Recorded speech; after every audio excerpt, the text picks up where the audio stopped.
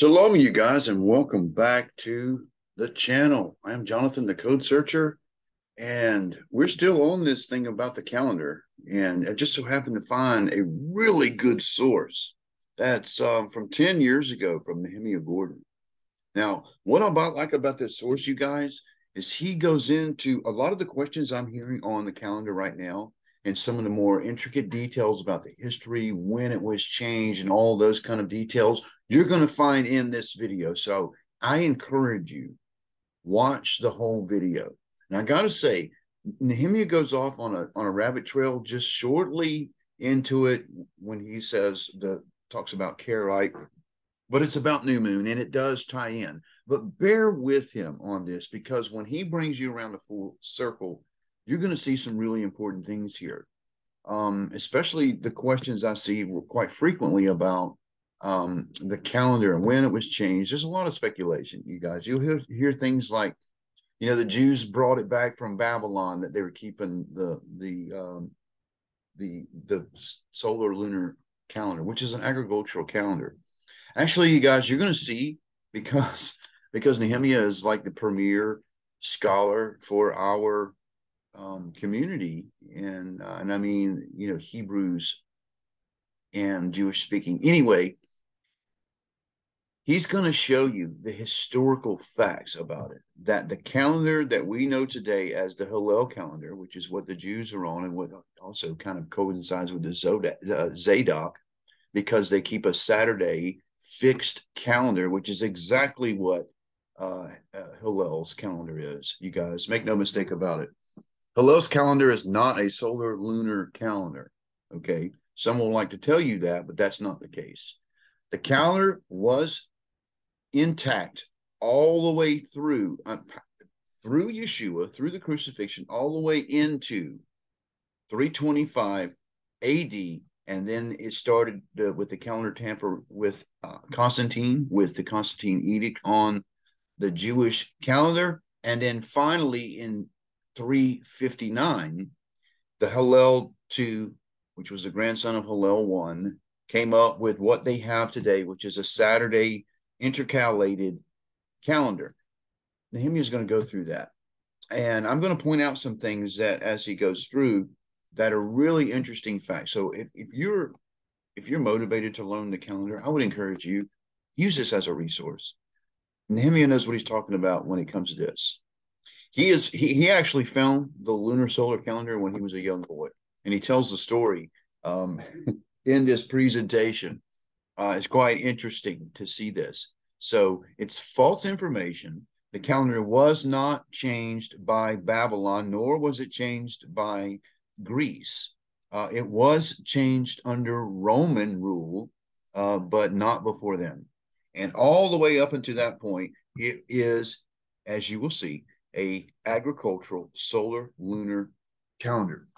Now, I do disagree in one place in this video where um, he he shows the two categories of how to reckon the year, and one, on one side you'll see where a rabbi uh, from the Talmud actually talks about the um, equinox, and he cites Josephus, also uses the equinox. So um, it's it's I believe his position that he does not support that way of reckoning the year. Here's what I've discovered because he uses nature. Okay. The equinox and nature are going to coincide because one uh, is determined by the other. And here's what I mean by that. In the time of the equinox, when the light changes, you guys, and we go to shorter day, uh, longer days, shorter nights, this causes photosynthesis in plants, but also in animals that are triggered by this time of year where it's time to reproduce. Okay, so I believe, and it's my position, and this is what I use currently today, is both. Here's why I use the the um the information about the equinox. You guys, if you will uh take a look. Oh, you gotta be kidding me. Hang on, let me let me pull it up if I can find it.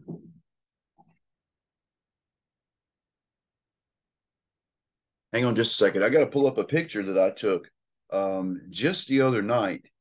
And I want you to notice how the position of the moon, because this happens this time of year where the moon is only in this position this time of year, and it's because of its position with um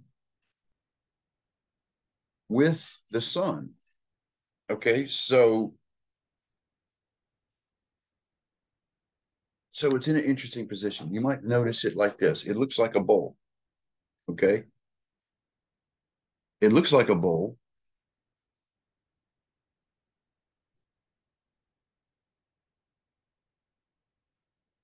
And is that, oh, let me look at it now. Yes.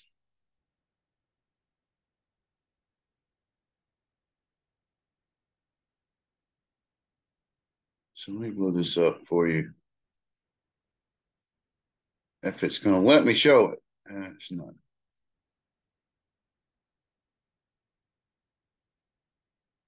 Let me do it this way.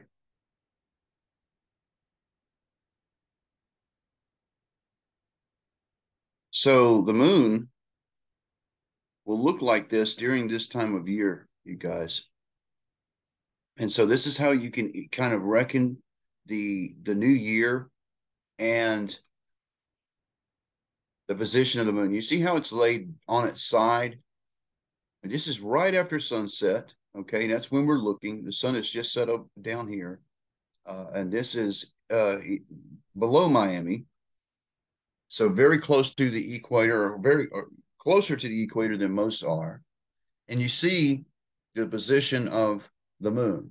Now, as the as the months progress, that will change because the set the the the the rising of the sun and the setting of the sun changes every day. It's a different position. It will change every day. And so, it, with the setting of the sun, it will turn uh, as it faces the moon in a different position. So, the moon will start turning up on its side as we progress through the year. This is the only time of the year that this, and they call this a harvest moon. This is at the barley harvest right here at Passover. This is how we know from the sun, moon, and stars that we're in the right time. Okay. So I would encourage you, if you are interested in learning this and you want to get it down, please um, consider the information that, that I'm about to present to you. Nehemia is, is a very good resource on this. He is unbiased. He doesn't have a dog in the race. He's it's it's really about truth for him. So um, please stay tuned for this very informative uh, information about the calendar, how it was changed, and what it originally was. So hang, hang tight here.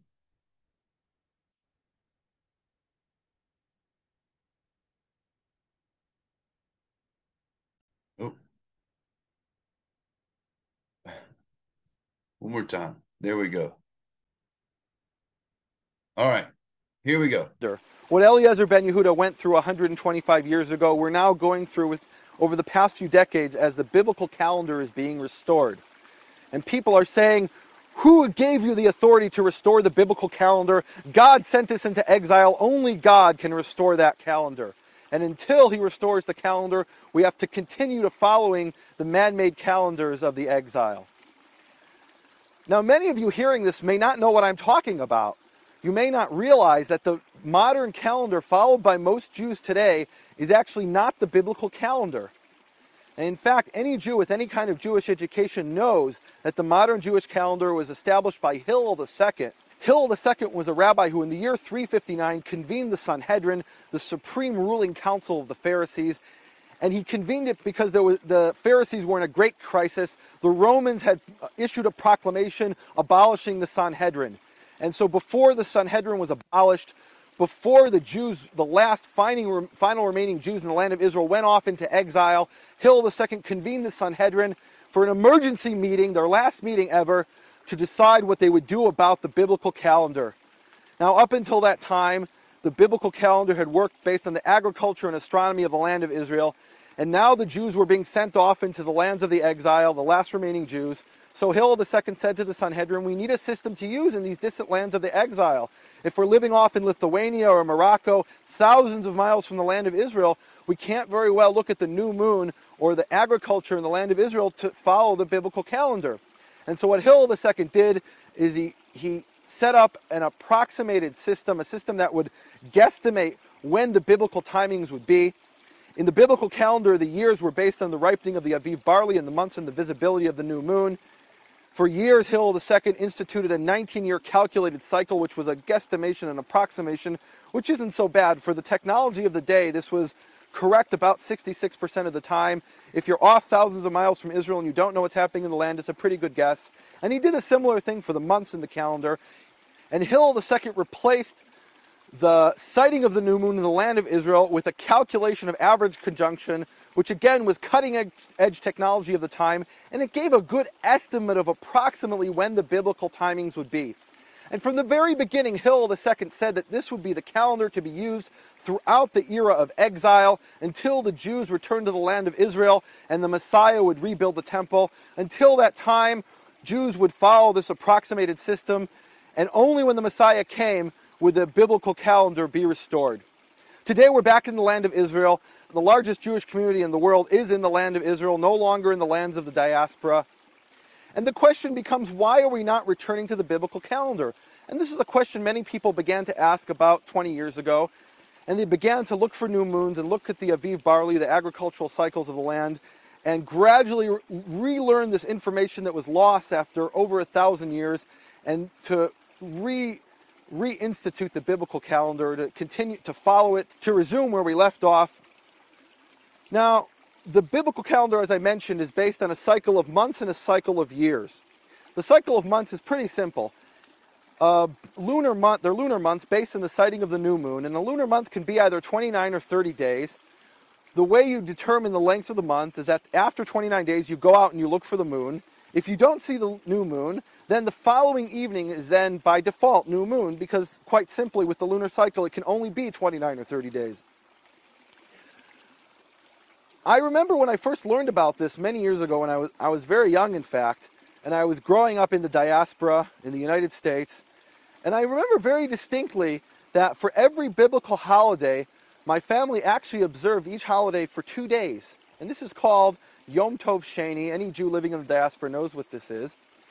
And what that means is, for example, if in Leviticus 23 we're commanded to keep the feast of Shavuot, or in English Pentecost, for one day, then a Jew in the diaspora will keep it for two days. And I remember asking my father, well, why are we keeping this for two days? I'd begun to read Leviticus, and I saw it was only a one day holiday. And the same thing with the Feast of Unleavened Bread. The first day and the seventh day are days of rest, of no work. So in my family, we would do the first and second, and then the seventh and the eighth. Why are we doing these things for two days? I asked my father. And he explained to me that originally Jews would look for the new moon throughout the land of Israel, and then they would come and report that the new moon was uh, sighted in Jerusalem, and then a proclamation would go forth from Jerusalem announcing to the world that the new moon was sighted. However, if you lived very far away in the exile, if you lived even back then in Babylonia or in Egypt, these faraway lands, which weren't, you really couldn't uh, find out if the moon was sighted in these lands distant from Israel, then what you did is you simply kept both days. Remember, I mentioned how the moon can only be on one of two days, either after the 29th day or after the 30th day. So if you're in exile, you just keep both days. And there's, you know, you, you keep both just to be on the safe side. And this was done going back more than 2,000 years by Jews living in these distant parts of the exile. And to this very day, my father explained, Jews in the exile, in the lands of the diaspora, that is, continue to follow the second day of every biblical holiday. And I said to him, well, wait a minute. Today we have, this is before the internet, back then we had telephones. I said, Dad, we have telephones. Why don't we call up in the land of Israel and find out when they saw the new moon? And he explained to me that actually today nobody looks for the new moon anymore.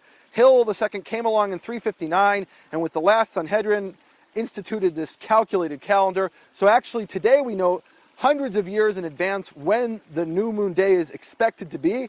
And whether the new moon appears in that day or not, it's considered new moon day. And I said, well, now we're back in Israel.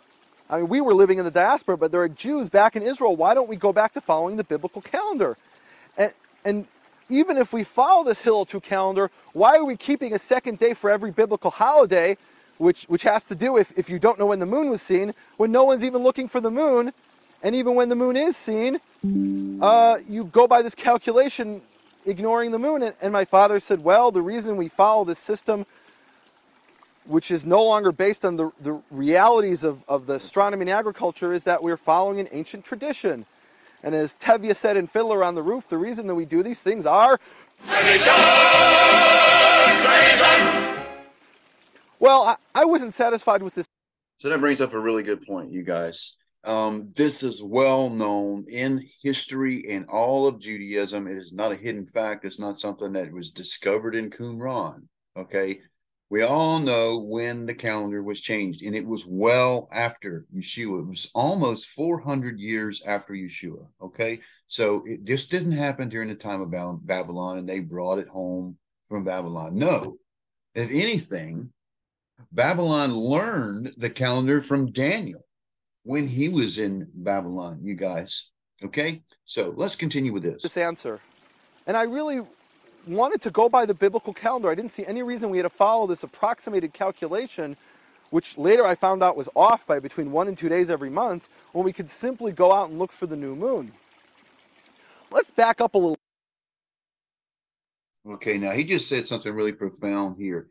He said that the fixed date calendar is off by one or two days every month. Remember what I said about the remnant house and how from Passover to Passover they're accumulating 10 days and how it applied to what is said in Jubilees?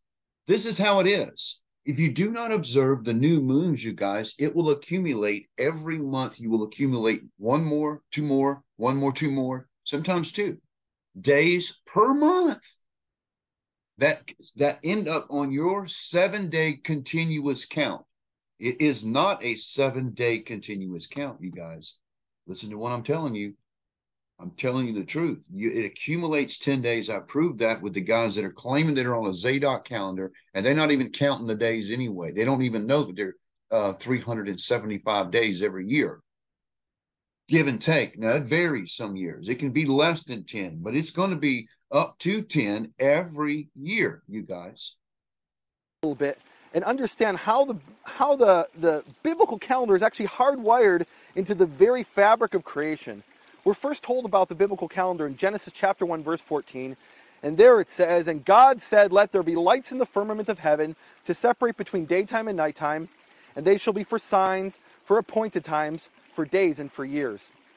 And the Hebrew word there for appointed times is often translated as seasons, but actually appointed times is more accurate. The Hebrew word is moadim.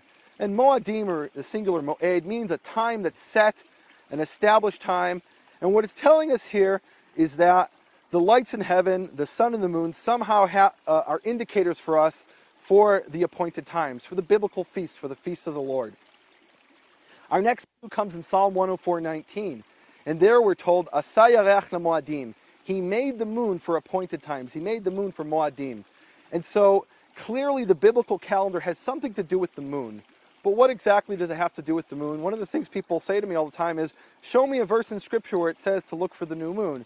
And there actually isn't a verse that says that. And the reason is that the very Hebrew word for month means new moon. The Hebrew word for month is chodesh. And the Hebrew word chodesh literally means new moon. You can see it used that way in, in throughout Scripture. Nehemia is a is a Hebrew scholar you guys, and he just told you because this has been an argument. The word Hodesh, some will say that only means moon, and I told you it's a synonym. It's synonymous. It both is moon and new moon. Okay. Sometimes in the scriptures where it's just talking about the moon, and you can see the context in the scriptures that it's just talking about the moon, that's when it's moon. But when it's talking about the head of the month, you guys, that's new moon. And that is how synonyms work. So don't be fooled by the ignorance of people who do not know what they're talking about when it comes to Hebrew.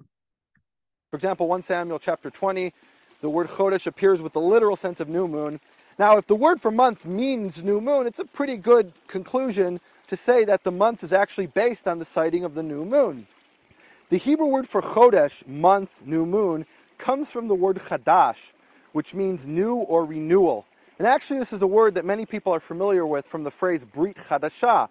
Brit Chadashah is the Hebrew word which is often translated as New Testament. What it literally means, though, is renewed covenant. Brit is covenant, Chadashah is new or renewal. And the uh, Hebrew idea of Chadash is, is not something brand new that never existed before. The idea is actually a renewal. And that's what Jeremiah 31 is talking about. The covenant has been broken, and in the future period that Jeremiah is talking about, this covenant will be renewed. And that's exactly what a chodesh, a new moon, is. The moon is not visible for several days. It's, it, you go out and you look for the moon for several days and you don't see it. And then the light of the, the moon or the visibility of the moon is renewed to observers looking for it up in the, on the western horizon shortly after sunset. Now, the way the, the lunar cycle works, here we can see the sun, the moon, and the earth in a straight line, and this is what's known as the moment of conjunction. And at this point, you simply can't see the moon because when you look up, all you see is the sun. That's the first reason. The second reason you don't see the moon is that the side of the moon facing us on Earth is not illuminated. Now, here's a very important point that a lot of people don't get 50% of the moon is always illuminated. Even at this moment of conjunction, half the moon is lit up, except the half that's lit up is not facing Earth. And so we can't see it.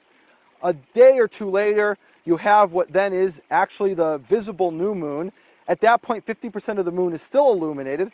However, now enough of it is facing Earth that when we look up on the western horizon shortly after sunset, we can see the moon as a, as a tiny sliver crescent. And this is what it actually looks like looking a, at the horizon from Jerusalem. This is a new moon sighted from Jerusalem. Here's another new moon, which you can see from Jerusalem. Any simple ancient Israelite shepherd or farmer goes up to any hilltop and he can't miss seeing the new moon. It's just so clear. He, you know, the, the ancient Israelites were so in tune with the cycles of nature. They didn't have artificial lights. They woke up with first light and they went to sleep after the, after the complete darkness. I mentioned how in ancient times the new moon was proclaimed from Jerusalem. What they would do is they would light a bonfire at the top of one of the hills next to Jerusalem, and then someone on a far distant hill would see that bonfire and he would light a bonfire, and this created a string of bonfires at the top of all of the hills all across the land of Israel and people far away, hundreds of miles from Jerusalem, knew almost instantaneously that the new moon had been sighted from Jerusalem, unless you lived very far away in Babylonia or in Egypt. And in that case, you, you couldn't see the bonfires and you had to keep two days for every, for every biblical feast. Well, today we, we live in a miraculous age where we can click a button and send an email around the world, and even the people in the farthest reaches of the diaspora don't have to keep two days. They can find out instantaneously that the new moon was sighted from Jerusalem. For a number of years now, we've been reporting these new moon sightings from Jerusalem.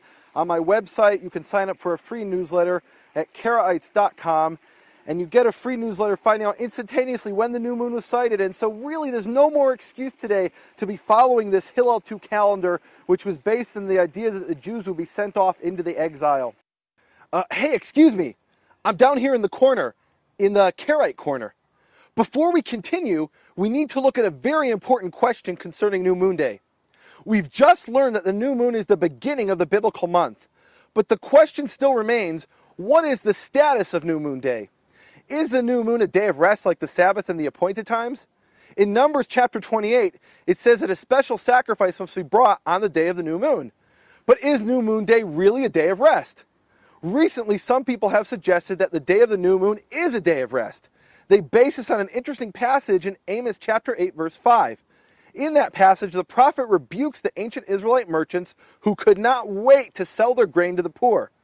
The prophet quotes the merchants who say in their hearts, when will the new moon pass so that we may sell grain, and the Sabbath so that we may offer wheat for sale? In this verse, the merchants are eagerly anticipating the end of the Sabbath and the new moon so they can sell their grain to the needy.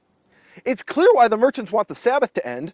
We are commanded to refrain from all work on the Sabbath, and that includes engaging in any form of commerce, such as buying and selling. In fact, in Nehemiah chapter 13, the people are rebuked for selling their wares on the Sabbath. The merchants in Amos want the Sabbath to end so they can finally sell their grain. But why are the merchants so eager for the new moon to end? This seems to imply that it was forbidden to sell grain on the new moon, just as it was on the Sabbath.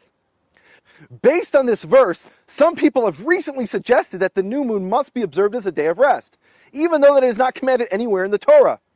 They also point out that there are a number of verses in Scripture in which the new moon and Sabbath appear side by side. For example, in Isaiah 66, verse 23, the prophet speaks about the new heavens and the new earth in the end times, saying, And it shall come to pass, every new moon and every Sabbath, all flesh shall come to bow down before me, says Jehovah. So in the future era, when the King Messiah reigns over the earth, every human being will come to worship before Jehovah every Sabbath and every new moon. On a side note, we can see that in the future Messianic era, the Sabbath will still be kept. Another verse in which the Sabbath and new moon appear side by side is 2 Kings chapter 4. In that passage, we read about the Shunammite woman who is a disciple of the prophet Elisha. Elisha blesses the barren woman with a son. When her son dies, she decides to quickly go to the prophet for guidance. In verse 22, we read as follows And she called her husband and she said, Send me, please, one of the young servants and one of the she donkeys, that I may run to the man of God and afterwards return. And he answered, Why do you go to him today? Today is neither new moon nor Sabbath. Clearly, the Shunammite woman had a custom of going every new moon and every Sabbath to hear the words of the prophet. Interestingly enough, this woman's custom of going to the prophet is probably the forerunner of the synagogue. Today, the main function of the synagogue is for public prayer by rote. But before the destruction of the Second Temple, the first synagogues were places for the people to gather to hear the words of Scripture read out loud every Sabbath. Originally, the people would go every Sabbath to hear the words from the prophets themselves. Later, when prophecy ceased, the people would gather at the synagogues to hear the words of the prophets recorded in Scripture. In verse 24, we see that the Shunammite woman goes to hear the words of the prophet not only every Sabbath, but also every new moon. Verses such as these have suggested to some people that the new moon was intended as a day of rest, just like the Sabbath. The problem with this idea is that the Torah never actually commands us to rest on the day of the new moon. If the Torah does not command us to rest on the Sabbath, then how could the prophet Amos command us to do so? The Torah itself forbids us from adding new laws. We read in Deuteronomy chapter 4, verse 2 You shall not add unto the matter which I command you today, nor shall you diminish anything from it. We are specifically forbidden from adding new laws to the Torah of Moses, just as we are forbidden from abolishing laws. This appears a second time in Deuteronomy 12:32. All that I am commanding you shall diligently do. You shall not add to it or diminish from it. Again, we are forbidden to add to the Torah. Even a prophet such as Amos will be forbidden to add to the Torah. This is made clear in the very next verses that follow in Deuteronomy 13. There we are warned that if a prophet appears performing genuine signs and miracles, but telling us to do something other than what is commanded in the Torah, we are not to listen to him. He is a false prophet who has been sent to test us. Clearly, Amos could not have added a commandment to rest on the new moon because that would have made him a false prophet.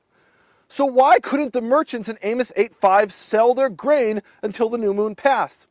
I want to propose an alternative explanation of this verse, an explanation that appears in the Targum Jonathan, an ancient Jewish translational commentary on the prophets. According to this explanation, the Sabbath in Amos 8:5 is not the weekly Sabbath, but the yearly Sabbath, what's called in English the sabbatical year. The sabbatical year is commanded in Leviticus 25, which says, Six years you shall sow your field, but the seventh year shall be a Sabbath of rest for the land. You shall neither sow your field nor prune your vineyard. We're not allowed to plant crops in the sabbatical year. In verse 5, it continues, and it speaks there about the aftergrowth, meaning grain that grows from seed that falls during previous year's harvest. In verse 5 it says, That which grows of its own accord of your harvest you shall not reap. It is a year of rest for the land. Some people stop reading here and erroneously conclude that we are not allowed to eat anything that grows during the sabbatical year. But actually, the point of prohibiting a harvest is to allow anyone who wants to go into the field and cut as much grain as they need. This is explained in verses 6 and 7 of chapter 25. It goes on, it says, but you may eat whatever the land during its Sabbath will produce. You, your male and female servants, the hired servants, and the bound laborers who live with you, and your cattle and the beasts in your land may eat all its yield. So the prohibition is to carry out a centralized harvest. On the sabbatical year, everyone is allowed to go into any field and cut whatever they need for survival. This is why the merchants in Amos 8 are so eager for the sabbatical year to end. During the sabbatical year, their grain sits collecting dust in the storehouses. The poor don't need to buy any grain because they can simply go into any field and cut whatever they need. But as soon as the sabbatical year ends, grain prices will skyrocket and the merchants will be able to gouge the needy. This is what the prophet was talking about when he said in Amos 8, Listen to you who devour the needy, annihilating the poor of the land. Saying, When will the new moon pass so that we may sell grain, and the Sabbath so that we may offer wheat for sale? We will make the ephah small and the shekel great, and practice deceit with false balances, buying the poor for silver and the needy for a pair of sandals, and selling the sweepings of the wheat. The ephah was a solid measure of volume, like a modern bushel, and the shekel was a measure of weight. The merchants would deceitfully use smaller weights and measures when they were selling and larger ones when they were buying. This was all part of the price gouging of the poor. The rich merchants are desperate for the sabbatical year to end so they can get back to business as usual, selling their grain to the poor at high and unfair prices.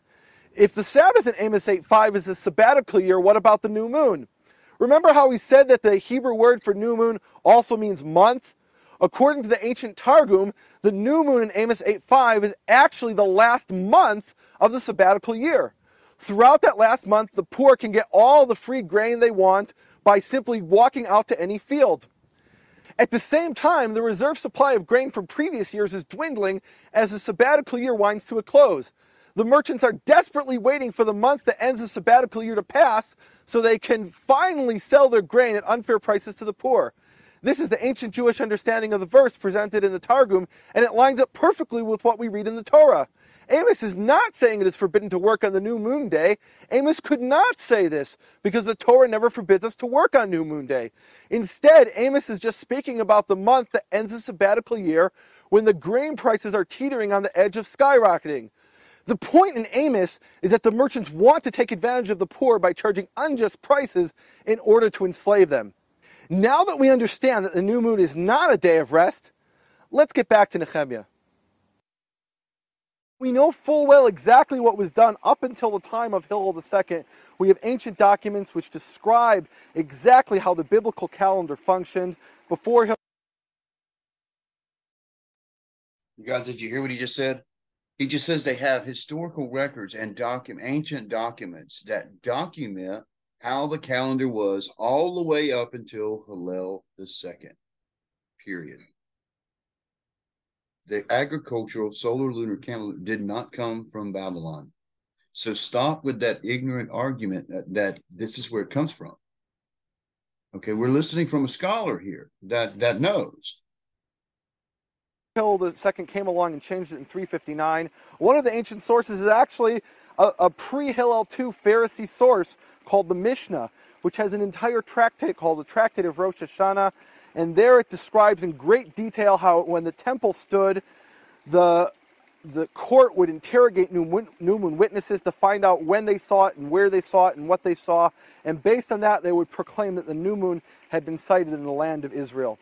And here's a really amazing account that appears in this tractate of Rosh Hashanah, which tells about an actual new moon sighting that took place in Jerusalem. And it relates as follows It says, it once happened that Tobias the physician saw the Chodesh. Chodesh. Okay, now let's consider this because if let's consider if the word Chodesh means month and, and it's used in the context as month. Let's see if it makes any sense. It once happened that Tobias the physician saw the month in Jerusalem together with his son and with his emancipated slave. Really? He saw the month. Or how about this one? It once happened that Tobias the physician saw the new moon in Jerusalem together with his son and his emancipated slave. See, that's what Chodesh is. Based on the context, I can tell you, and this is from the Mishnah, a very ancient text. And you can see that, that during Yeshua's time, before and after, it's a solar lunar calendar.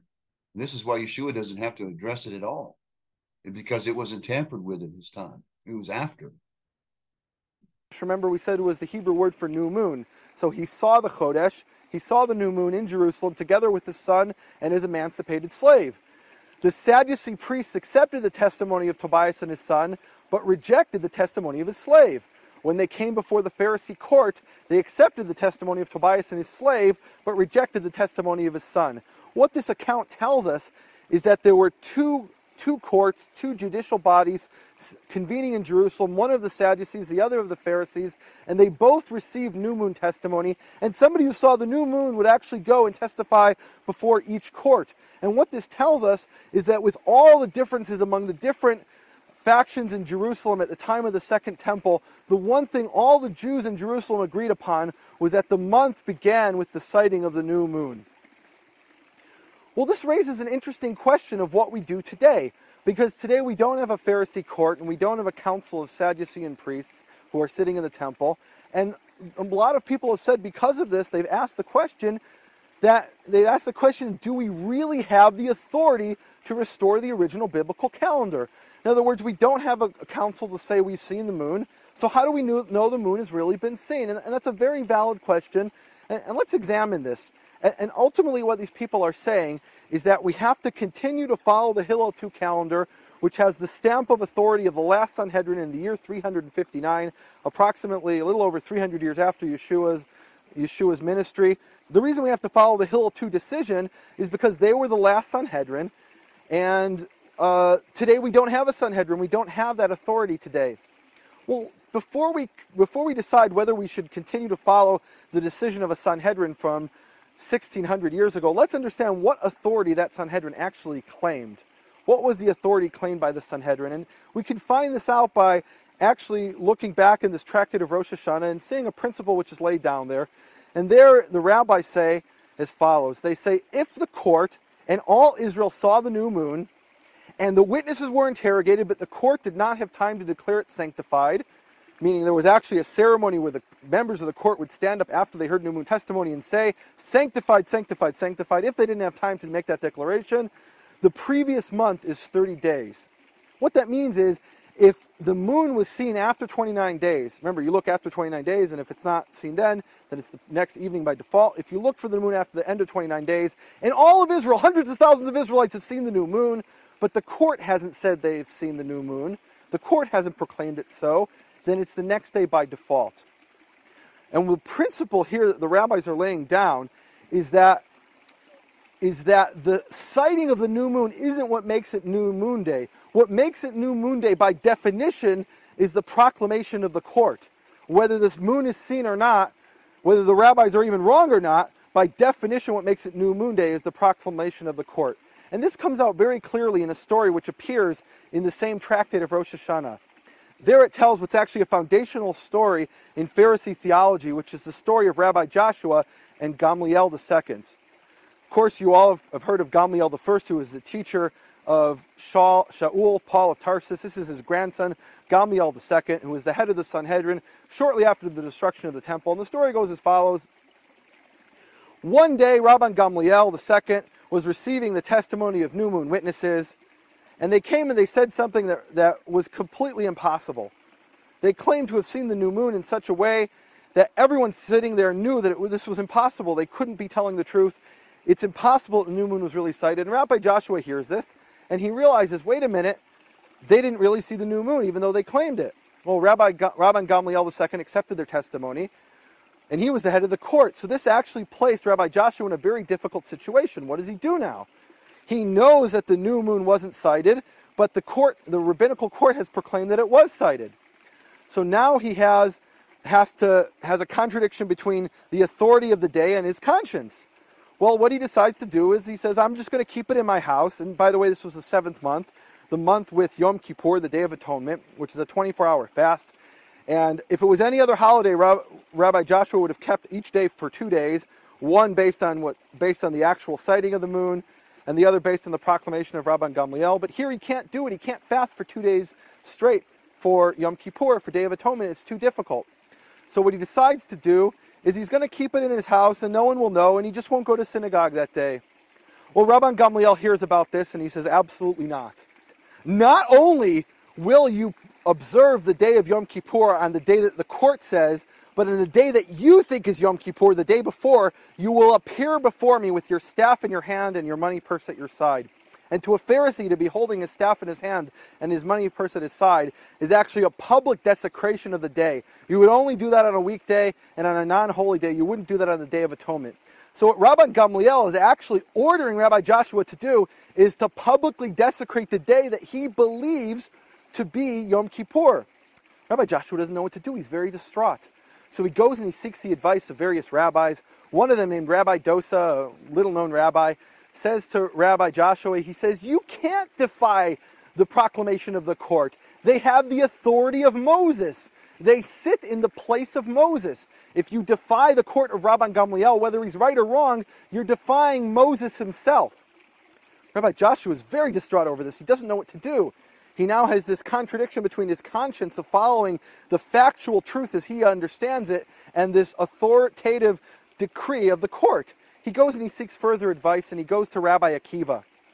And Rabbi Akiva sits him down. Rabbi Akiva was the greatest rabbi of the second century, late first century, early second century. And he says, Rabbi, rabbi Joshua, it says three times in the Torah, you shall proclaim them, the appointed times. You should read it as you yourself shall proclaim. What's, what's he talking about? He was actually using an ingenious uh, exegetical device, changing the vowels of one of the Hebrew words, changing the verse in Scripture to you shall proclaim the appointed times. To you yourselves shall proclaim the appointed times. Let's look at what that is exactly. Leviticus 23, verse 4 says, These are the appointed times of Jehovah, holy convocations, which you shall proclaim them in their appointed times. And what that clearly says to anybody who casually reads that is you have to proclaim the, the appointed times. When do you proclaim them? In their appointed times.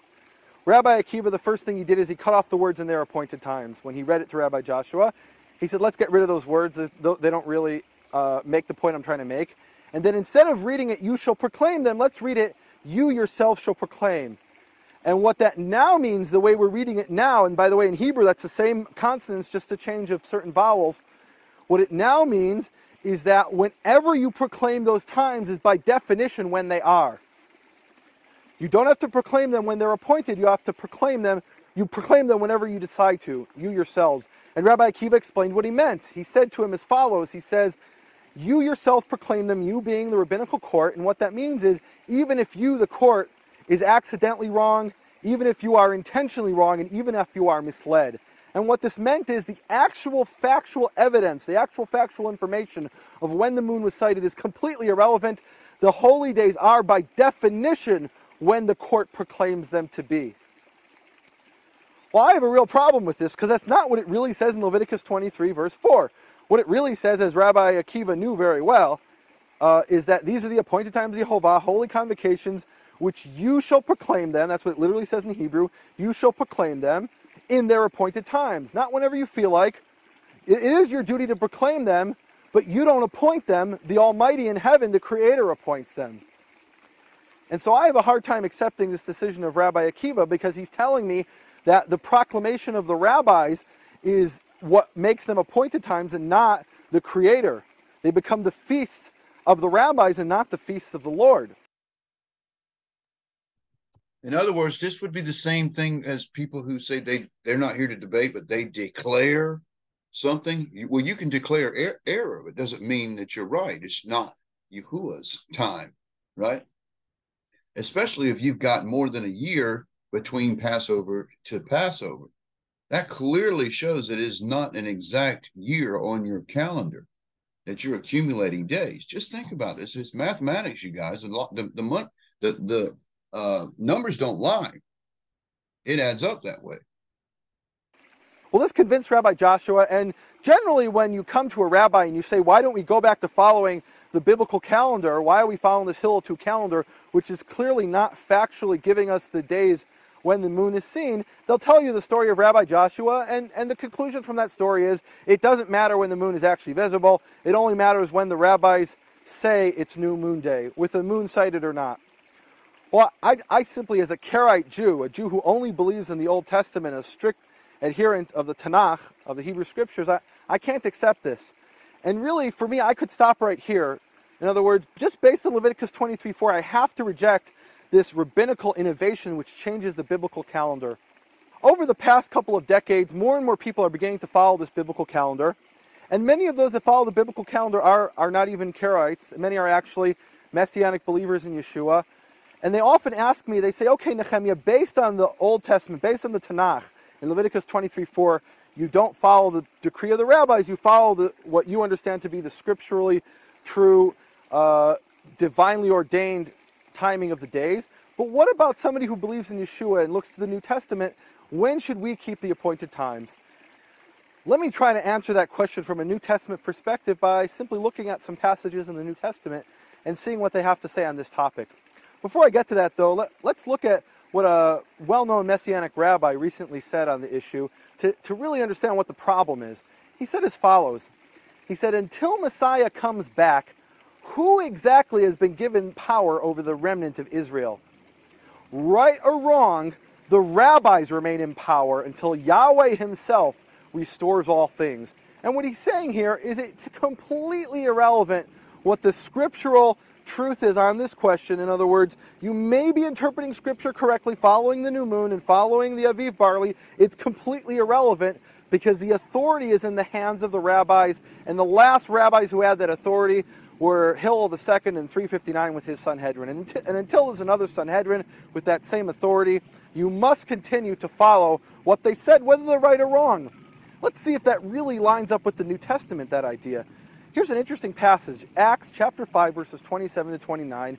It talks about when the disciples are arrested, and it says as follows Having brought the apostles, they made them appear before the Sanhedrin. By the way, this is not the Sanhedrin of Hillel II.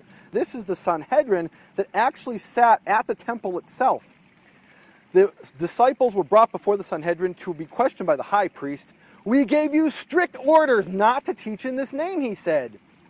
Peter and the other apostles replied, We must obey God rather than men. And, and the answer here is that if the Sanhedrin itself gives you a direct order not to do something or to do something, if that order is contrary to what God has commanded, you must obey God, not men, because the Sanhedrin, that's just a bunch of men. That's not the word of God itself. And they don't have a divine authority. This is what Peter and the other apostles said. Another thing I hear, which is kind of comical to me, I hear uh, many Messianic rabbis saying this all the time. They say somebody who believes in Yeshua should follow the Hillel 2 calendar because the Karaites are considered heretics. And I think that's kind of funny as a Karaite Jew who only believes in the Hebrew scriptures. That's ironic because what they mean is that the Karaites are considered heretics by the by the rabbis, and of course we consider the rabbis heretics. But but let's actually examine that statement in context. Let's say, first of all, that Karaites are considered heretics. Okay, well, we'll stipulate that for a moment. Does that mean you shouldn't follow something in Scripture because the Karaites happen to say the same thing? This would be like saying the Karaites keep the Sabbath. You shouldn't keep the Sabbath because the Karaites do it, because they're heretics. That doesn't make any sense to me. This is a question of scriptural truth, not of authority, and not of following a particular group. But let's, let's put this in a little bit of context. Uh, the Pharisees both in ancient times and in modern times, the, one of the standard prayers that they recite. They actually say the prayer three times a day. Is something called the Amidah. The Amidah is the basic rabbinical prayer which has been recited in synagogues for at least 2,000 years. It's also known as the 18 benedictions. However, today it actually has a 19th benediction, which is known as the benediction against the heretics. The origin of this curse against all heretics is described in the Encyclopedia Judaica, where it says as follows. It says Samuel Hakatan, around the year 90 of the Common Era, composed the benediction against the heretics included in the Amidah. This was directed primarily against Judeo Christians. And you know who they mean when they say Judeo Christians? They mean the early Jewish believers in Yeshua. It goes on either to keep them out of the synagogue or to proclaim a definite breach between the two religions. So, you know what? If the rabbis call me a heretic, at least I know I'm in good company. Another thing I hear from people all the time is, well, you know, it's so difficult to follow the biblical calendar because most people who are who are following the feasts are actually doing it based on the Hillel 2 calendar. And it's it's difficult to be different and and it's true it is. However, it tells us in the Torah as follows. Exodus chapter 23 verse 2 we're commanded very clearly. It says, "You shall not go after the majority to do evil. Neither shall you testify in a matter of strife to incline after the majority to pervert justice." And what this means is we can't follow the majority just because it's convenient or easy. We have to be the we have to follow the truth no matter what everyone else does. Even if we're the lone voice of reason, we must cling to the truth. You guys, every time you hear him say the Hillel 2 calendar, you must understand that this is the Saturday observance intercalated, fixed Shabbat. It started in 359 AD under Hillel II. But the persecution actually started in 325 when when um, Constantine, you know, pr- promoted his edict, which prevented them from observing um, feast days and um, new moons and all that kind of stuff. The calendar was actually fixed and become a fixed observance, and even punishable by death if you weren't on it in the in the time of Roman rule um, in 359. So think about that, and that remains today. That's what they do today. All right, so don't be misled. Yeshua was on an agricultural calendar.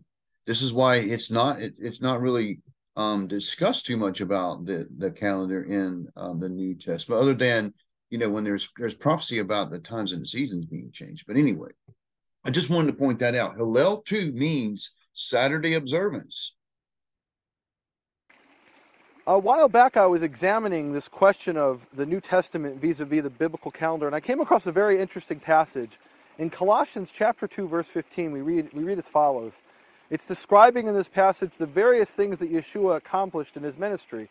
And verse 15, it says, He disarmed the rulers and authorities and made a public example of them, triumphing over them in it. And when I read this, I was curious who are these rulers and authorities that Yeshua has defeated?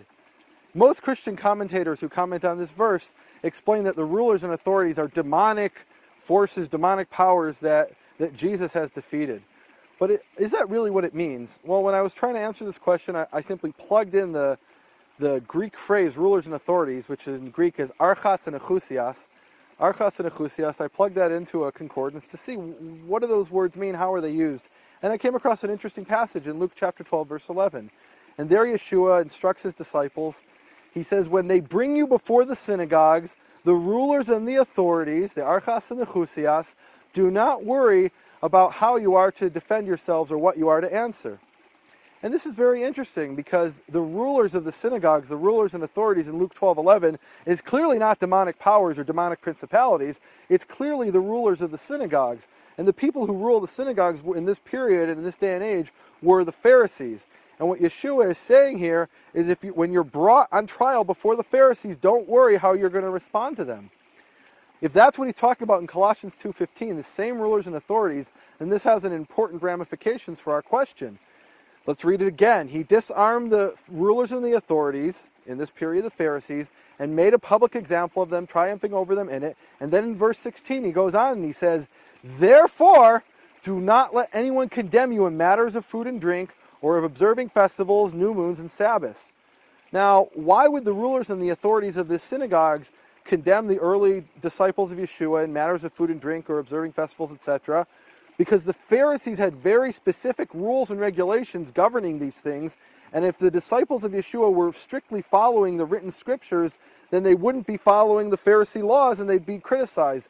And Yeshua is saying, or Paul is saying here in Colossians 2, Yeshua has defeated these rulers and authorities. Don't let them judge you in how you observe the festivals, new moons, and Sabbaths.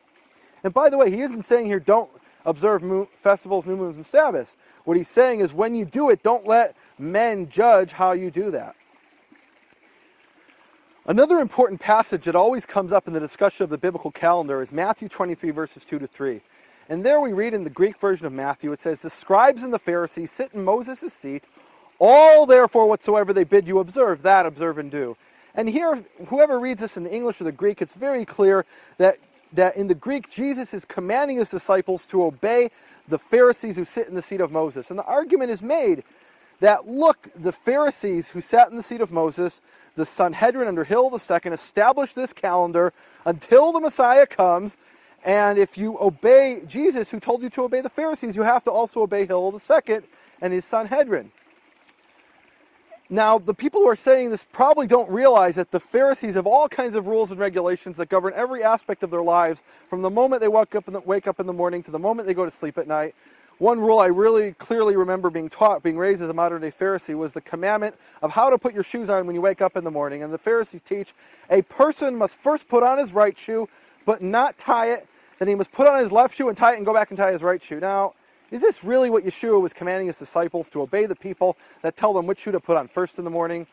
If that makes sense to you, then you should follow all the rules and regulations, but, but you can't cherry pick and say, well, we're going to do this one that the Pharisees instruct, but not that one. The problem is that in Matthew 23 3, it does say, Whatso, all whatsoever they bid you observe, whatever the Pharisees tell you to do, that observe and do. And it goes on to say, even if they don't do it themselves, they may not put on their right shoe first, they may put on their left shoe first, but you have to follow their instructions because just like Rabbi Dosa told Rabbi Joshua, remember in that story, the Pharisees have Mosaic authority. Well, this clearly contradicts what we see in Matthew 15. There, the Pharisees come to Yeshua and say to him, Why do your disciples transgress the tradition of elders? For they wash not their hands when they eat bread.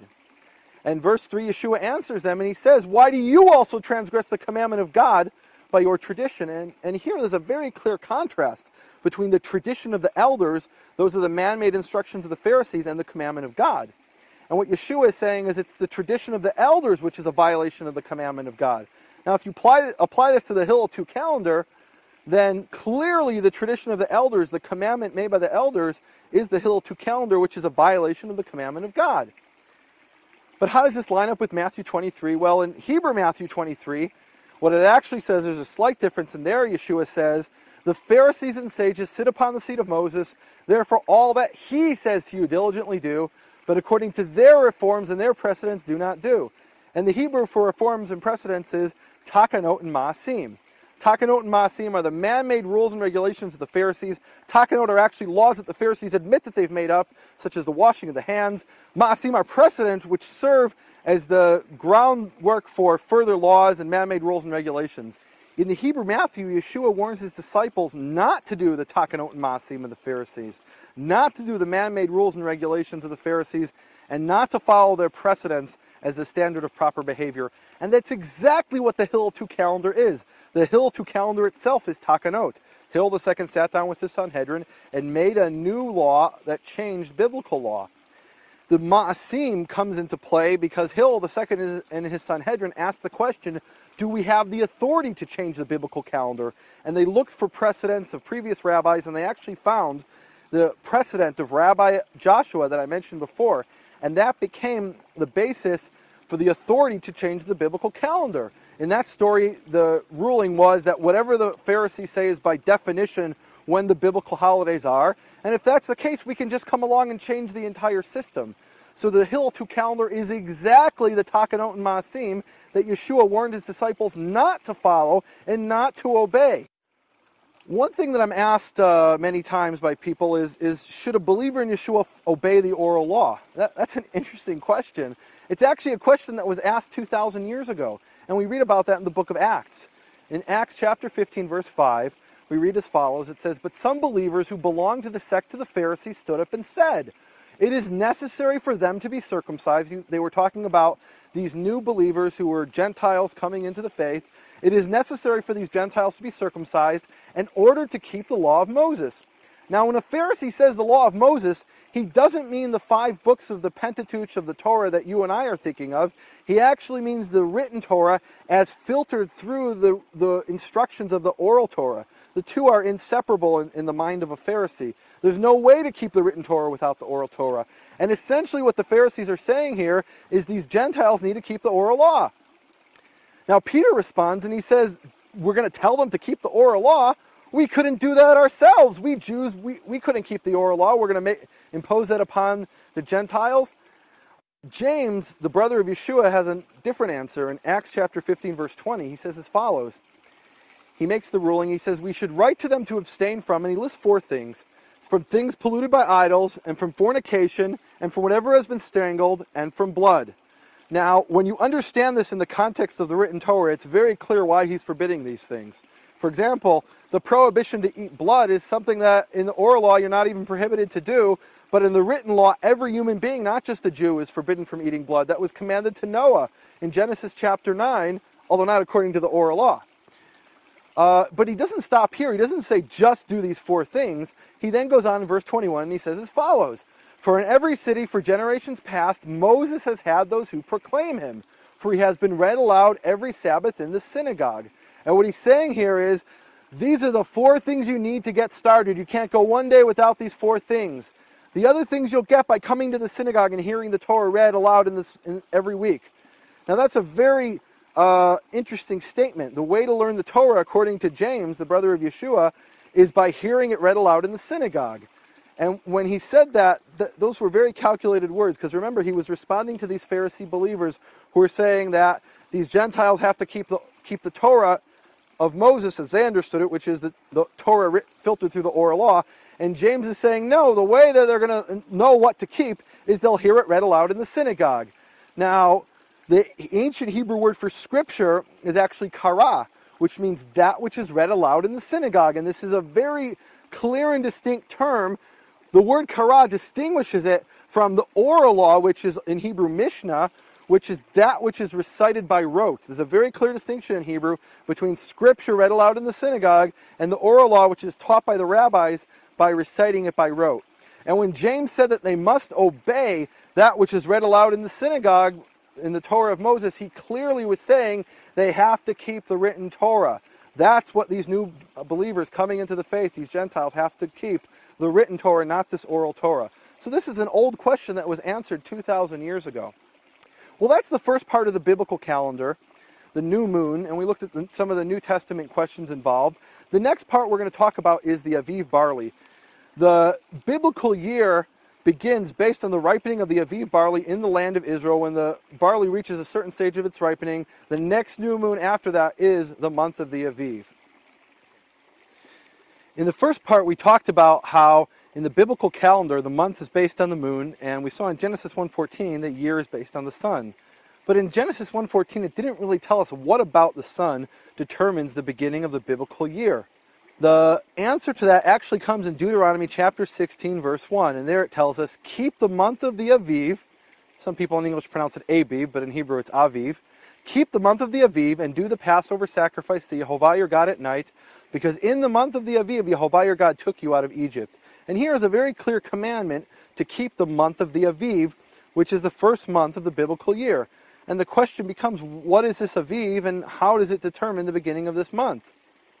We see in another passage in uh, Exodus, it says, You will keep the feast of unleavened bread. Seven days you will eat unleavened bread as I have commanded you at the time of the month of the Aviv, because in the month of the Aviv you went out of Egypt. So, what is this Aviv, and how can we actually find out what it is and how it affects the biblical calendar? What we have to do is take a linguistic approach to Scripture. And let me illustrate this with an entirely trivial example. Many people are familiar with the phrase, Romeo, Romeo, wherefore art thou Romeo? And if you ask the average person, what does wherefore mean? The way this phrase is used in English, they'll tell you, well, wherefore means where. Where are you, Romeo? But actually, the word wherefore in Old English means why. What Juliet is actually saying in the original context of this passage is, Why are you Romeo? Why is that your name? Couldn't you have been called something else? Remember, uh, Romeo and Juliet's families were warring clans, warring factions. And what she's saying here is, Why did you have to be from that family? Couldn't you have been from another family so that we could have gotten along? And the, what we see here is the way to find out what a word means in an ancient text, and really in any text, is look at how the word is used in the context based on the language as it was used when the, when the text was written. If we want to understand what a word means in the Torah, we have to look at how the word is used in the Torah based on ancient biblical Hebrew. And the reason that's important is that in modern Hebrew, the word aviv actually means spring, whereas in biblical Hebrew, it means something completely different. In biblical Hebrew, the word aviv is not a season of the year at all. It's actually a stage in the ripening of barley. And we can see that literal meaning of the word aviv used in Exodus chapter 9, verses 31 to 32. And there we read as follows it's describing the plague of hail and the great destruction caused by this plague. And it says there, And the flax and the barley were smitten, because the barley was aviv and the flax was givol. Givol is an agricultural term describing flax. And the wheat and the spelt were not smitten because they were dark, or in Hebrew, afilot.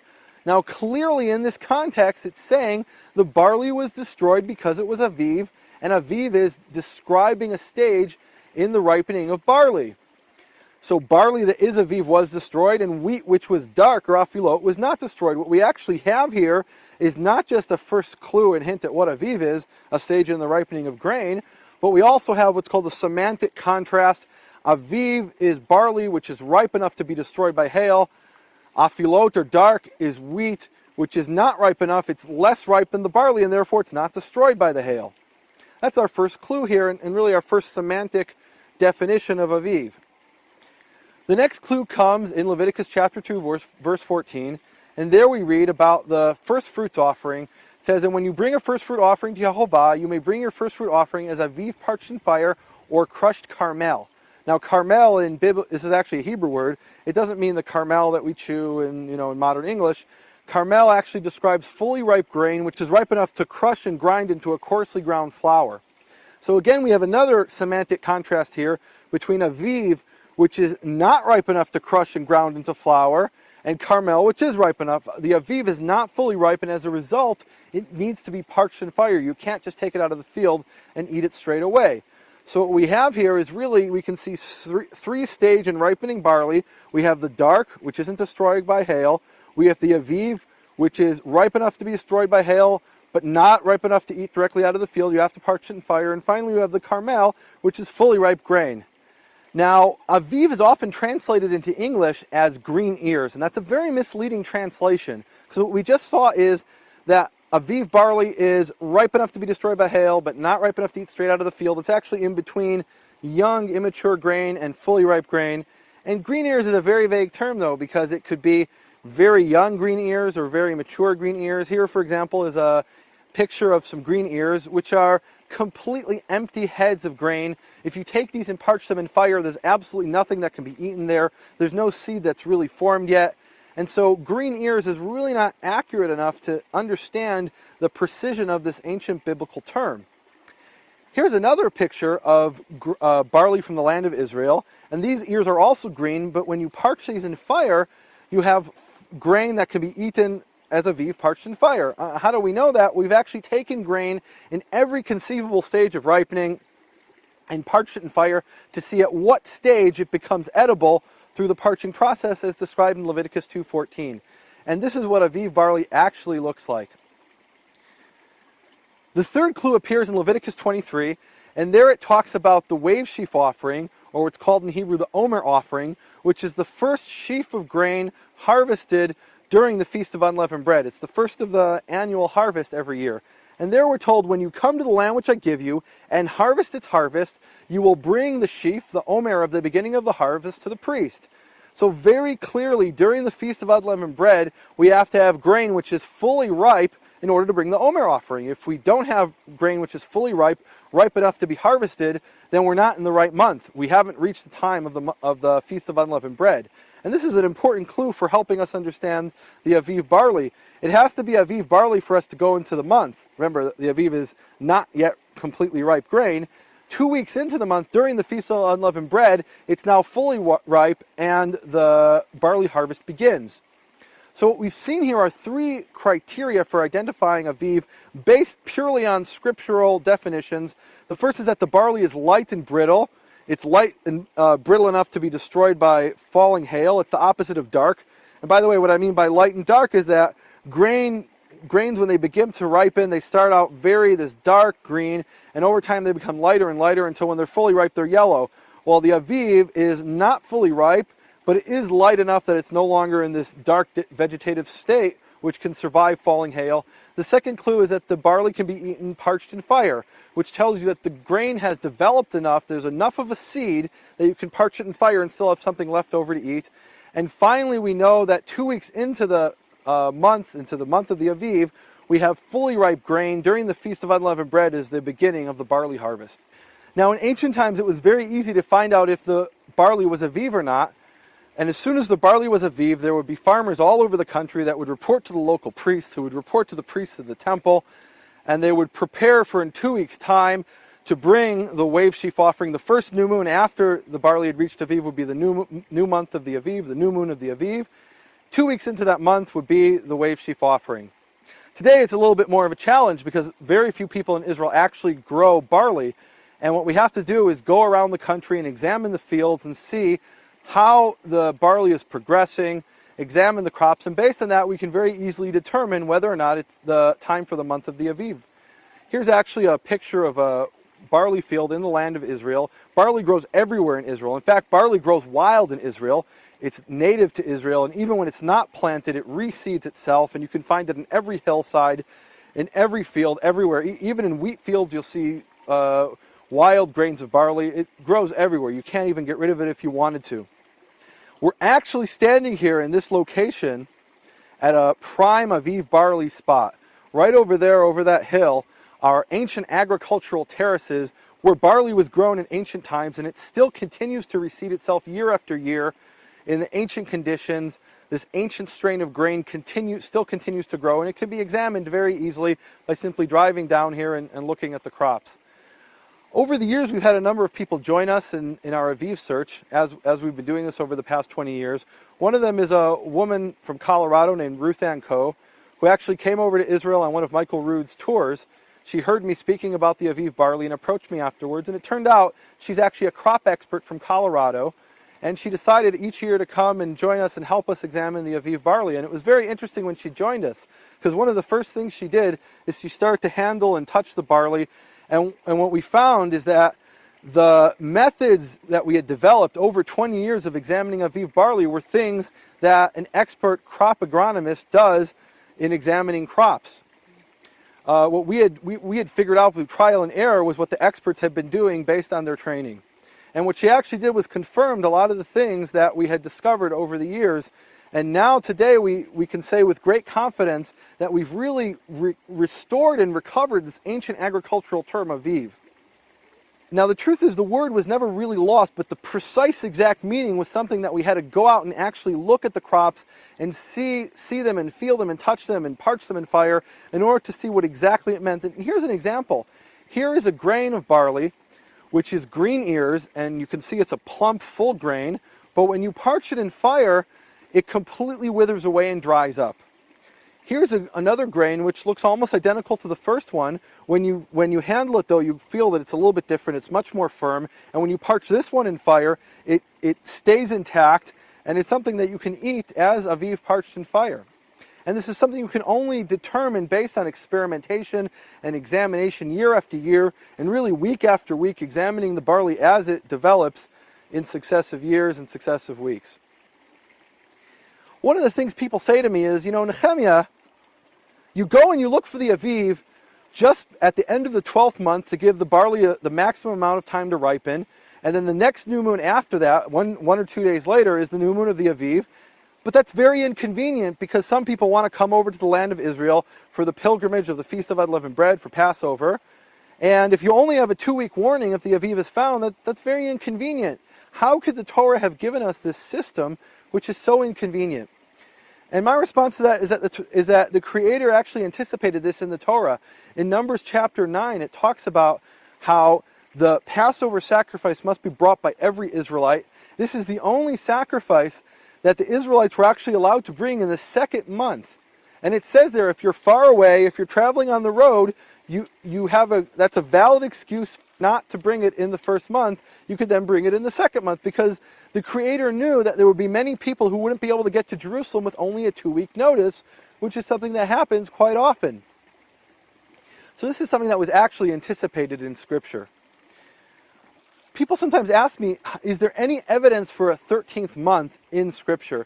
The reason I say that is that if the barley is not Aviv at the end of the 12th month, then you need to wait a 13th month, and only after the 13th month is then the month of the Aviv. So what I'm often asked is, where is the evidence in Scripture for a 13th month? And my first response is that Scripture doesn't say anywhere that there are 12 months. In fact, it's not that we're adding a month, it's that we're simply waiting from one month of the Aviv to the next month of the Aviv. And really what that is, is it's from one uh, barley harvest to the next barley harvest. And that's actually a solar cycle, because the barley ripens in the land of Israel once every solar cycle. There's actually a reference to this in Scripture when it describes Solomon's tax officers King Solomon had a very interesting tax system, which is described in 1 Kings chapter 4. And there it talks about how the country was divided up into 12 districts, and each district would pay taxes only one month out of the year. That's a pretty good system if you think about it. Now, it describes the 12 officers over each of the 12 tax districts. For example, district number one was son of Hur over Mount Ephraim. District number two was the son of Dekar over Makaz and Shaalbim, etc. And finally, it describes the 12th tax officer. And then in 1 Kings chapter 4, verse 19, after describing these 12 tax officers, it says in the original Hebrew, and there was one officer over the entire land. Now, it doesn't say that in the King James Version. There it says, and he was the only officer which was in the land, talking about the 12th officer, which doesn't make sense. We just said there were 12 officers. What it says in the Hebrew is there was this 13th tax officer over the entire land. And why would we need a 13th tax officer if there are only 12 months? And clearly the reason is that once every two or three years you have a 13th month and in that 13th month, it's not fair to impose taxes on one particular district. So what they would do is extract the taxes from the entire land in that leap year with the 13th month. And this is actually described in some of the ancient sources. They explain, or they ask the question when it says the one officer over the land, who is he? And it says in those ancient sources, this is for the month of intercalation. That means the 13th month, which one waits when barley is not aviv at the end of the 12th month. One of the things I hear from a lot of people is that we shouldn't begin the year based on the Aviv barley, we should base it on the vernal equinox. And they actually take this from a statement by Josephus Flavius, the first century Jewish historian, who says as follows. He's speaking to the pagan Greeks, and he writes, In the month of Nisan, on the, which is the later name for the first month of, month of the biblical year, in the month of Nisan, on the 14th day of the lunar month, when the sun is in Aries, the law ordained that we should every year slay that sacrifice which was called the Passover. And many people look at this and they say, look, we have to wait until the sun is in Aries for the beginning of the biblical year, and it has nothing to do with Aviv barley. Well, the first problem with this is it doesn't say that in the Torah. The Torah never mentions anywhere the Aries or the vernal equinox. In fact, Josephus doesn't even really mention the vernal equinox. He just speaks about Aries. And Aries is actually a pagan constellation in ancient astrology. And the first of Aries in ancient times actually did correspond in the first century to March 21st, which is the day of the vernal equinox.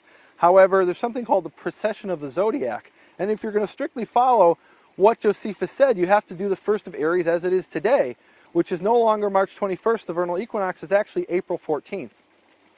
So if you're following scripture, then, then really the Aries and the vernal equinox have nothing to do with it. If you're following Josephus, then follow what he really says and do it based on April 14th as the beginning of the biblical year. What do we actually know about how the biblical calendar functioned in ancient times in the first century? Well, we have a number of ancient sources that talk about how they decided whether or not to have 12 or 13 months. And one of them is actually a fascinating document, which is the letter of Rabban Gamliel. And this was actually the Gamliel, or Gamaliel, who was the teacher of Shaul, of Paul of Tarsus. And the story is related as follows. It says, It once happened that Rabban Gamliel I was sitting on a step on the Temple Mount one of the interesting things about this, this ancient source is that we've actually uncovered these steps, the very steps where Rabban Gamliel was sitting.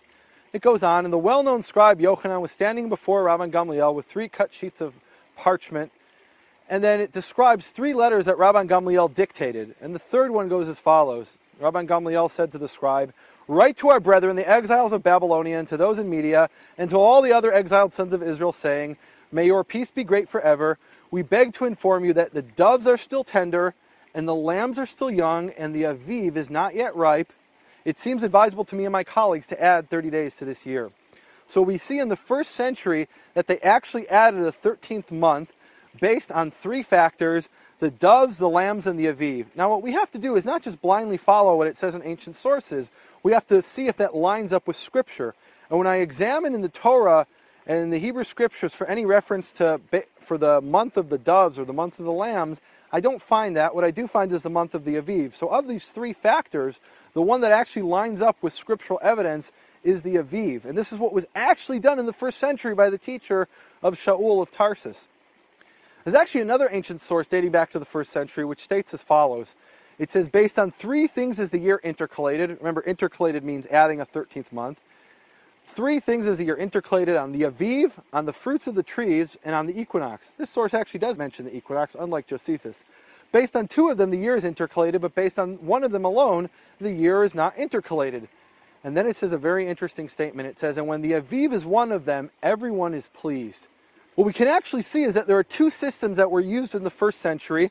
One appears in this letter of Gamaliel I, the doves, the lambs, and the Aviv. The other appears in what's called a Braita, which is an early Pharisaical document, and there it describes the fruits in Equinox and the Aviv. What the two systems have in common, what these two rival factions agreed upon, was the Aviv. And that's actually mentioned in the ancient sources, which say when the Aviv is one of the factors, everyone's happy. Because the rival factions don't agree on the fruits, the equinox, the doves, or the lambs, but everyone agrees on the Aviv, because when you look for that in Scripture, you actually find it mentioned, keep the month of the Aviv. Well, the Aviv is not just something we've rediscovered in modern times, it's been known really throughout history. It really was never lost. The precise meaning we had to rediscover in the last two decades, but the knowledge of the Aviv and the observance was something that was done throughout history. We have an uh, ancient statement called the Karaites vow. Remember, Karaites, like myself, are Jews who look only to the Hebrew scriptures. And the Karaites vow goes as follows. When, when a Karaite would enter into the Karaite community, when actually when he would come of age, and generally when he would get married, he would make the vow as follows. He and his wife would make the vow, we swear by the covenant of Mount Sinai and the statutes of Mount Chorev, Chorev is another name for Sinai, to keep the holy appointed times of Jehovah according to the new moon and the finding of the Aviv in the holy land of Israel. Even after Hillel II came along and replaced the biblical calendar with his man-made calendar in 359, there was always a small number of Jews that held on to the biblical calendar we have one testimony from the year 1313 from a man named Israel the Moroccan, and he reports as follows about Karaites who were observing the biblical Aviv calendar. He says the Karaite Israelites who lived near the land of Israel, specifically the communities of Cairo and Alexandria and the communities of Damascus and Aleppo, these communities send reliable emissaries each and every year to the land of Israel who search out and investigate the barley in all the places where it is known from previous experience to ripen earliest. It's actually interesting that they looked for the barley that ripens earliest. Why would that be? Uh, and that if we go back to Leviticus 23, remember it says during the Feast of Unleavened Bread is the beginning of the barley harvest. In Deuteronomy 16, it also refers to this time as when the sickle begins upon the standing grain. So throughout the land of Israel, you'll have barley ripening at different times in different places at different elevations. But the fields that are significant for the month of the Aviv are the beginning of the harvest. Israel Moroccan goes on and says, If they find a field that is ripened, they take about two sheaves from the stalks of barley and bring them as testimony of the Aviv. They show their communities the Aviv and keep the Passover. The emissaries return to all these communities no later than the 10th of Nisan. This is an amazing account, an amazing testimony of what was done 700 years ago in Aviv observance. There's a couple of interesting points here. One is that they didn't know whether it was Aviv or not until the 10th day of the month. That means many in many years they would have to prepare their, actually every year, they would have to prepare their houses for Passover and be all prepared to have Passover within five days, get rid of all their leaven, because until the emissaries came back from the land of Israel to Egypt and to Syria, they wouldn't know whether or not the Aviv was found. And the people were ready because there was just no other way to do it in the exile when they were scattered to these distant lands. Another interesting point here is they actually bring the Aviv back with them. They don't just sit in a court in Israel and proclaim the Aviv was found, but they actually send evidence that the Aviv was found because no one is saying that in the era of exile with the temple destroyed, that we have a supreme council that can proclaim that the Aviv was found. The question today is what's the factual evidence? Was the Aviv actually ripe or wasn't it ripe? Was the barley Aviv or wasn't it Aviv? That's the question. And, and what they did 700 years ago is they'd actually stand the stalks of barley back so people could see for themselves and examine it for themselves. And today, when we look for the Aviv barley, what we do is we bring multiple witnesses who can go back and testify to their communities and bring back pictures and other evidence, actual physical evidence, to bring to their communities that the Aviv was, was found in the land of Israel. What we've seen is that the biblical calendar, before it was tampered with by Hillel II, was based on the ripening of the Aviv barley and the sighting of the new moon in the land of Israel. Now, even Hillel II, who changed this system, only intended that to be used during the exile in the far distant lands of the diaspora. Now that we're back in the land, what's keeping us from restoring the biblical calendar? Now, the rabbis themselves admit when the Messiah comes, they'll go back to following the biblical calendar and scrap this Hillel II system, which was only intended to be temporary. But the question I ask is why do we have to wait? As a Karaite Jew, what I want to do is keep the Torah to the best of my ability in the here and now. Keep whatever I can, and sure, there are some things I can't keep. I can't bring sacrifices today. There are all kinds of things that we won't be able to do until the Messiah comes. If we look back at Ben Yehuda, if he would have followed this advice of waiting until the Messiah came, like the rabbis of his day told him to do, we wouldn't have millions of people living in the land of Israel speaking the Hebrew language. We would be back out in the dispersion, speaking the language of the, our captors, not in an independent Jewish state in Jerusalem. And really, the question is this Are we going to be like Ben Yehuda's son, who struggled to bring the Hebrew language back to life? That little boy with his dog? Or are we going to be like those children who oppose this, oppose the restoration of these biblical things, and stone the dog? Thank you. I really appreciate him and his uh, studies. And he's just, you know, another witness to this. And and he doesn't have a dog in the fight. He did that video 10 years ago. It is what it is. All that information is researchable, you guys.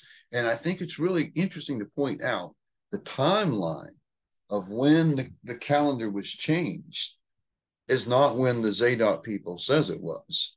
Matter of fact, um, the calendar was not an issue uh, or a central focal point to those that were in Qumran. We're going to do a study on that.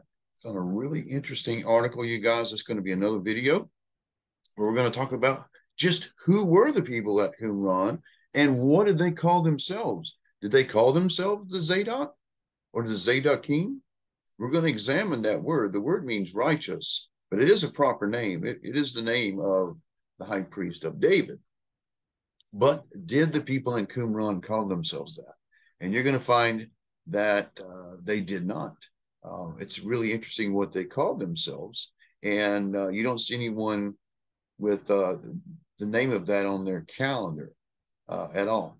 Uh, so more in another video. So I'm leaving you with that. I apologize for how long it was, you guys, but it's full of information that's useful and spot on. And again, it's another witness to um, the, the fact of the matter.